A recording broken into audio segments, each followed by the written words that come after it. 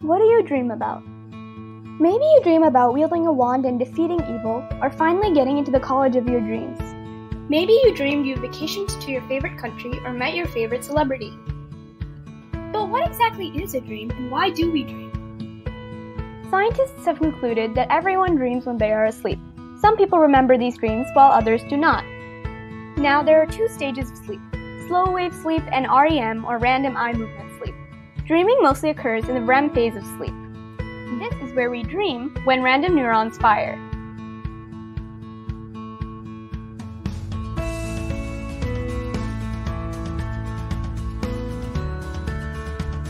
In fact, one lab was able to create a dream map using MRI patterns and cross-referencing once the person woke up.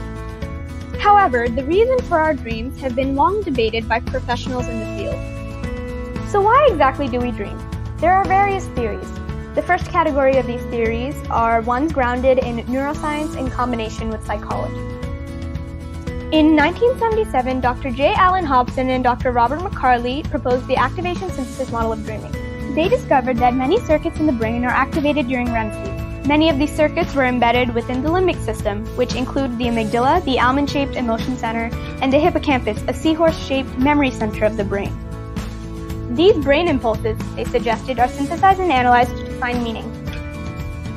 This model suggests that we don't actually dream, but that once we awake, we pull all the random neural firings together to form a coherent narrative we can make sense of. The next theory, proposed in 1968 by Dr. Richard Atkinson and Dr. Richard Shiffrin, is the information processing theory, which states that a significant reason for sleep is to store and organize the experiences and thoughts from the day. Many scientists agree that dreaming is a side effect of the neural impulses that are fired in the processing of the day's information. This is supported by research that shows that during REM sleep, the frontal lobe sees increased activity of low frequency theta waves, which is similar to the activity during memory storage and consolidation. Essentially, memories in the process of being deleted or taken to long-term storage are displayed as the images you see in the dream. Meanwhile, the continuity hypothesis proposed by Dr. Calvin Hall in 1971 shows that dreams replay certain life experiences, especially ones with emotional connotations. This segues into another theory first discussed in the 60s called the emotion regulation theory, which suggests that dreams help us cope with trauma and handle our emotions. Scientists have found that the amygdala, our brain's emotional center, and the hippocampus, our brain's memory center, are active during REM sleep, implicating dreaming with emotions and memory. Not to mention, research shows that stress neurotransmitters are at lower levels during sleep, which helps the brain heal emotionally. The second category of theories are ones grounded more in the psychology of why we would dream.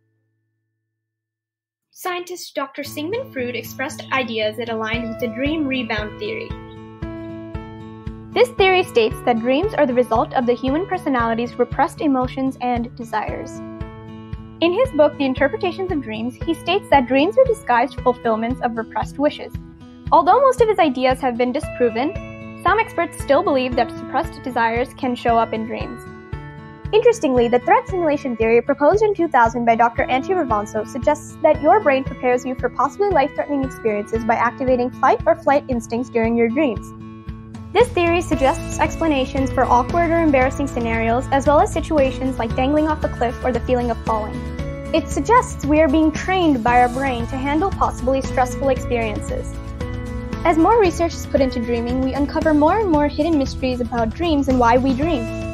Overall, no matter which theory you believe, it is important to understand how critical a good night's sleep is to deal with daily emotions and consolidate memories.